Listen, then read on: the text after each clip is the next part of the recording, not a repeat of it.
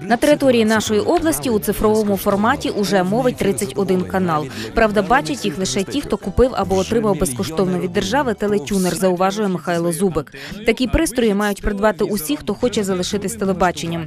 Поки діє стара аналогова технологія, можна бачити зображення і без телетюнера. З 2015-го, а можливо і швидше, аналогове мовлення в Україні припиниться, а ваш екран потемніє. Телетюнер дозволить отримати новий значно сучасніший сигнал. Цифрове мовлення це нова ера у телепросторі, запевняють фахівці. Це краще зображення, якісніший звук і більше каналів в порівнянні з аналоговою технологією. Для операторів телекомунікацій суттєва економія енергоресурсів, оскільки сучасні передавальні засоби мають порівняно з аналоговим передавальним обладнанням дуже високий коефіцієнт корисної дії. З переходом на цифрове мовлення мешканці невеличких населених пунктів мають такі ж можливості отримувати інформацію, як і мешканці мегаполісів.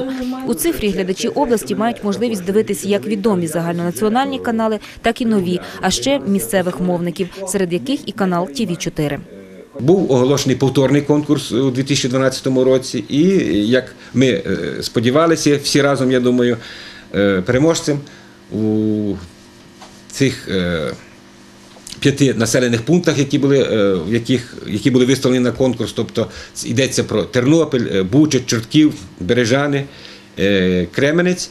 Е, Переможцем е, вийшла наша телекомпанія ТІВІ 4 яка вже і отримала ліцензію. І, е, наскільки я знаю, з лютого почне мовлення у цифровому форматі.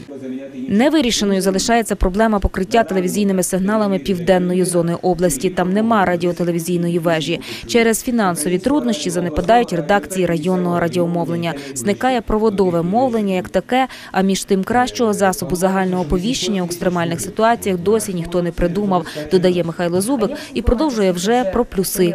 За останній рік значно покращилась якість теле і радіопрограм. 2012 став роком уваги до дитячого мовлення, і це додає оптимізму.